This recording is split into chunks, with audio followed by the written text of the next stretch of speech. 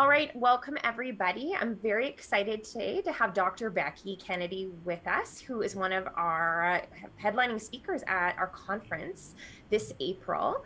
Dr. Becky Kennedy is well, everyone knows her from Good Inside, which is just taken off with the pot in the podcast world. So that must be so exciting for you. And uh, she's also known as the Millennial Parenting Whisperer for Times Magazine. She's a clinical psychologist and she is also a mom of three. So she knows her parenting business. Not only as a professional, but uh, like you walk the walk when you've got three kids at home. Yeah. Definitely. I don't know if I'm walking the walk, but I am like I'm trying to walk the walk at home. That's what Treading I water, walking. I don't know, a little bit of walking, treading. Exactly. Alternating between the two. Absolutely. So uh, Dr. Becky is going to be talking about deeply feeling kids. And so I think we just want viewers um, who are thinking about coming to our conference to hear about, you know, a little bit more about what this topic is about. So can you speak to that? Yeah. So I'm really, really excited uh, to share some of these ideas with a clinical community. And one of, I think, the important things to think about with deeply feeling kids are the way that these kids are prone, I think, later in life to a lot of borderline pathology or kind of tendencies. And one of the things I really focused on in the parenting world is understanding these kids and understanding what they really need early on to develop a sense of feeling at home in themselves, feeling safe in the world. And the way I would describe deeply feeling kids are that they're kids who experience their emotions really intensely and worry essentially that their big feelings that overwhelm them will overwhelm and push their caregivers away. And so when they're feeling vulnerable in that way, deeply feeling kids are super conflicted about taking in the support and help they actually need because they so desperately want connection in the same moments they so intensely fear rejection and abandonment. So, deeply feeling kids enter into threat mode if they see any signs from caregivers that could be interpreted as confirmation that they're too much, or essentially that they internalize that they are bad or unlovable. Okay. So do you is this similar to similar like there's some common threads like in our field with like the work of Dr. Elaine Aron like with highly sensitive kids? Do, is there a little bit of like crossover there with with that piece do you think? I that think that there's I think there's definitely overlap there and okay. so many people in my community say uh, the deeply feeling kids workshop so kind of complements right or goes mm-hmm. um, that they're like both really really useful frameworks yeah.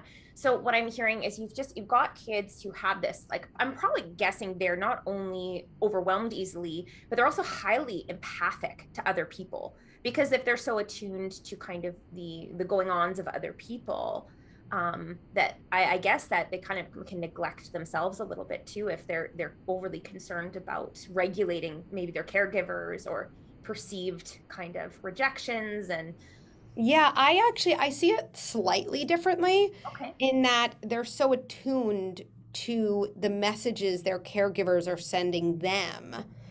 Not in an attempt to regulate their caregivers necessarily, okay. but because they truly are so fearful, essentially, that the adults around them will confirm their worst fears about themselves, that they are too much, that they are uncontainable, um, that they are in that way then kind of unattachable. Oh, yeah. And you just want so badly to like to work with these kids because they have probably have so much to give with all of that sensitivity and feeling. And you want, I'm sure they've got just this capacity to give so much to the world. So you want so badly to connect with them. And 100%. yeah, and like wield that, but in like for the positive rather than like you said, going down that borderline ish route, yes. so to speak, those tendencies. Yes. Okay. Awesome. So if you if you know there's parents watching and they're they're saying, "Oh my gosh, that's my kid. That's that's all of my kids."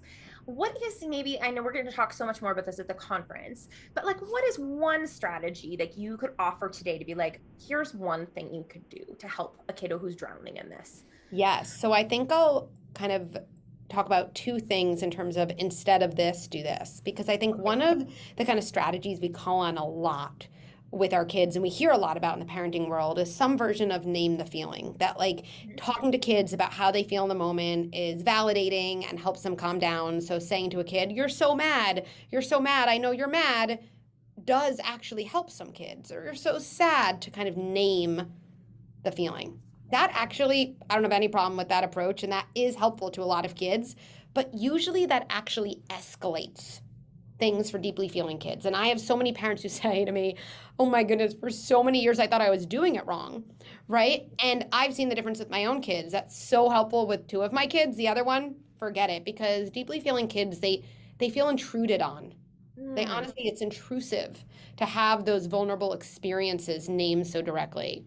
Those kids, instead of kind of naming the feeling, they actually respond really well to naming the magnitude of the feeling and I'll model the difference instead of, you know, what what would happen in my house, right? Oh, no, I cut my kids grilled cheese in half in triangles instead of, you know, two rectangles. That could be, you know, that could be a really That's disaster. A meltdown. That's a meltdown. A meltdown, you know. So instead of, oh, you're so disappointed, right? Naming the magnitude or describing the magnitude would look like this. This doesn't just feel bad. This is like this bad. Wait, this bad and then usually a kid will say it's this and you can yes it's this mm-hmm. bad or this isn't as bad as like the apartment this bad is as big as the apartment building isn't it or actually all of new york city and what i find that really does for kids and especially deeply feeling kids is it helps them feel believed in how intense the feeling is because it's not just the type of feeling that actually feels bad it's that deep, deep, intense feeling. And when you name the magnitude and you focus on the magnitude instead of focusing on just the name, that really, really connects for them. And they usually will be able to take that in. Yeah, it's very visceral, like the way you're you're doing it. So I wonder if that really connects with that brainstem, that body, like that that part of the brain that's really dysregulated. Is we're going from more of a bottom, as a limbic, we're getting right down to like what's going on, like their interoception of like their body sensations. That's what it sounds like to me. Sorry, I'm an EMDR therapist and looking at like all of this stuff. like this makes sense to me.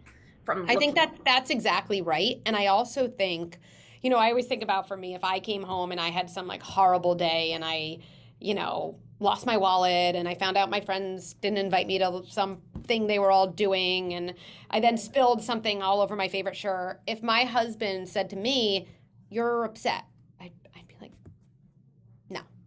it's not that I'm upset. It's that it was the worst day ever, right? Like it almost would feel invalidating to just name the feeling.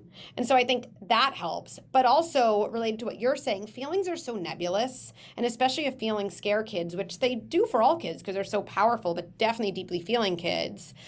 Putting a feeling into something concrete, like a size, I think a kid essentially is like, oh, I, yeah, I get that. Like, I, that's right. That is something I can connect to and that's very trauma like if we look at like trauma informed care when we like look at scaling with kids like when we do trauma work we don't just name the feeling either. It's like when when they feel something in their body we're like can you show me how big is it big as the room? Is it big as this desk? Is it big as your hand?